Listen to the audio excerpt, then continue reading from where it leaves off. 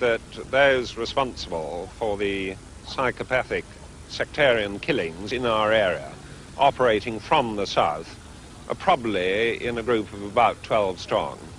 As far as the straightforward IRA terrorist is concerned, it's very difficult to estimate exactly how many we're up against, but I would believe uh, a figure of around 30 would be fairly accurate. Not very strong.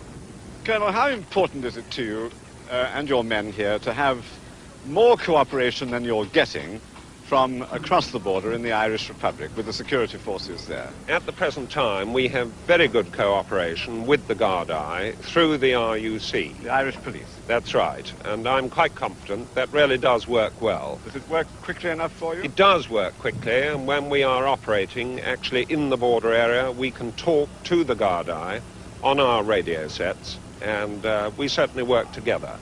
As far as the Irish Army are concerned, regrettably, at the moment, there are, is no cooperation between ourselves and the Irish Army. Is it desirable and necessary that it should be, in your view? I think it's highly desirable and indeed necessary. The official view in the Republic has been that cooperation between the two armies is not necessary. I I don't see the point of it. Uh, uh, we have a mission to perform. Presumably they have a mission as well. What their mission is, I don't know, and I don't wish to know. We have a job to do. We do it in our own way. I'm satisfied that we do it well, and I'm satisfied that we're doing it effectively. And what about the SAS uh, squadron that you're said to be to be getting? Is it here?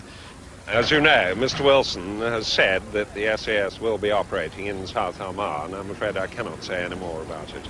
But and what what specific capability can they do they have, and and which they will employ that you haven't done so far?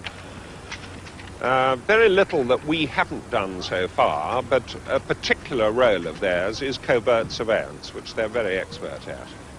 Which is going to give you information that you haven't been able to get so far from the local community. To a certain degree, though one's got to be very careful about bringing in the local community here.